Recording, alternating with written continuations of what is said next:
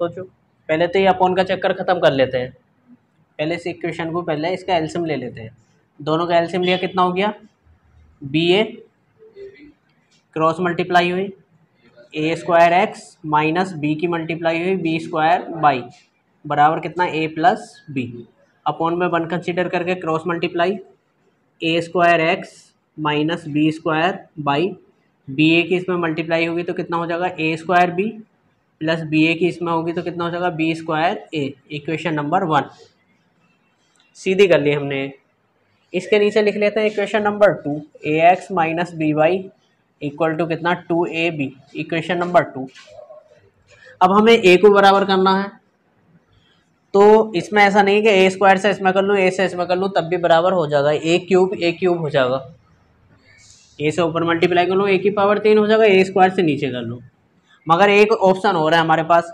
तीन तीन हो जाएगा कैलकुलेशन ज़्यादा बढ़ेगी। इसमें केवल ए स्क्वायर बना लेंगे। खाली इसमें ए से मल्टीप्लाई कर लो और इसमें कुछ करो ही मत। मतलब ये कहो कि इसमें वन से मल्टीप्लाई कर ली। तो ए स्क्वायर हो जाएगा ना? वो तो तुम्हें बराबर करना है, तुम किसी से भी मल्टीप्लाई करो, बराबर होने चाहिए।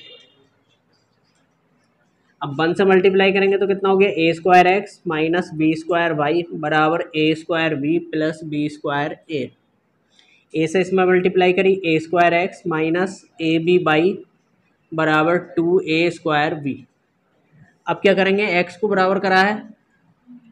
एक्स के साइन देखेंगे। एक्स के दोनों साइन क्या है? सेम है। सेम है तो क्या लिखेंगे यहाँ पे? ऑन सब्सट्रैक्टिंग सब्सट्रैक्ट करने पर साइन चेंज हो जाते हैं। प्लस तो ये माइनस ये माइनस तो ये प्लस और ये प्लस तो ये माइनस प्लस माइनस कैंसिल कितना बचा है यहाँ पे? B square y plus a b y इसे ऐसे लिख लेंगे। B square y plus a b y बराबर।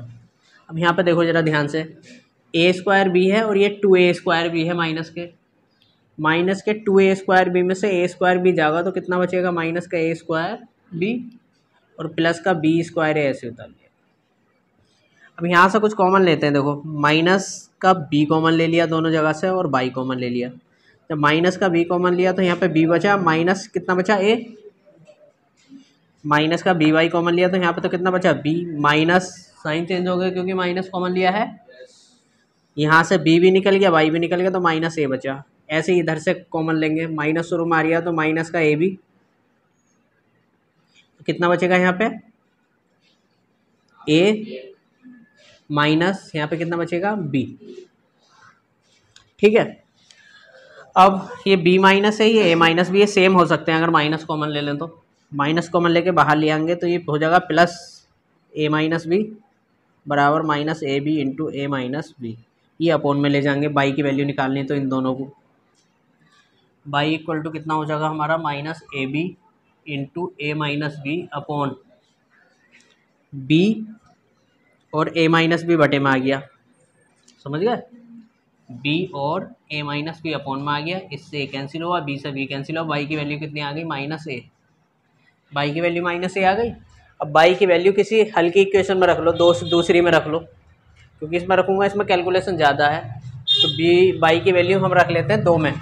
तो putting value of y putting value of y in equation two equation two में रख लेंगे वैल्यू तो ये हो गया a x minus b y की जगह माइनस ए बराबर two a b a x minus minus कितना हो गया बी ए बराबर कितना two a b b a को उधर ले जाएँगे तो ए एक्स बराबर ये हो गया two a b minus b a मतलब ए बी बी ए को ए बी लिखे देता हूँ, कोई दिक्कत नहीं है।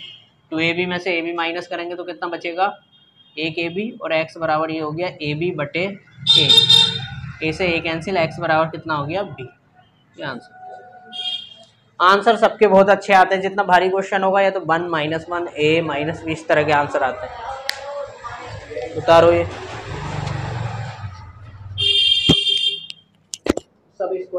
tonight it.